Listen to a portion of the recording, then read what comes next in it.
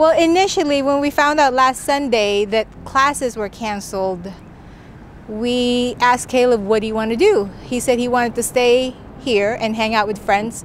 And then it just transitioned into something bigger where we actually have to take him back home. Everything's going to be online, and um, it was like a quick and sudden situation.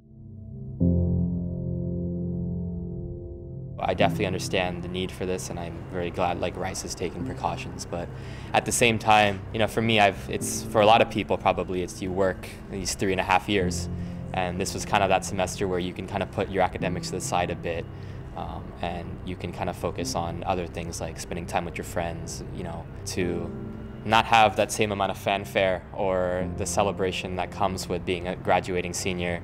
It's a little bit of a struggle. Um, it's kind of sad that a lot of my friends have already left for spring break not even knowing that the semester is going to end. So there are definitely people that I may or may not ever see again.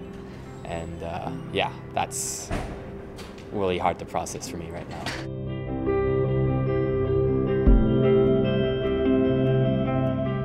People were definitely sad at first and disappointed, I think, really. Um, we kind of all knew it was coming, but when the email actually came out, it was like a little shockwave.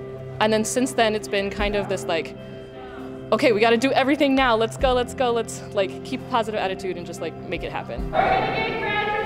Started, so remember There's a lot of uncertainty about what's going to happen with our commencement address, and all of us are moving off campus. And we're not sure if everyone's going to be able to come back. So we really just wanted to have a little mock graduation ceremony. Thank y'all for coming to our impromptu Weissowation. You know, at least have a celebration here while we still can on campus.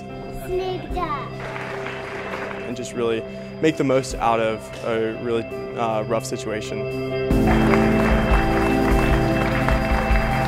Walking through the Sallyport is something you hear about um, when you come in. You walk into the Sallyport and you don't walk out until you graduate. So it's really important, just like as a Rice student, to have that tradition of walking out of the Sallyport together with all the people you walked into the Sallyport with. It seems like the culmination of four years that never really come to completion, and like there's levels of grief that we don't get to unpack because uh, things kind of end sooner than you ever think. But these people are amazing, and I wasn't even going to walk through the Sallyport today, but I just felt the energy and I knew that I would regret it if I didn't. And I don't know when there's going to be another time for me to be around so many wonderful people who have each imprinted on me um, and made my Rice experience so hard to leave. Like a lot of seniors, I feel like we all just feel like this is not what was supposed to happen.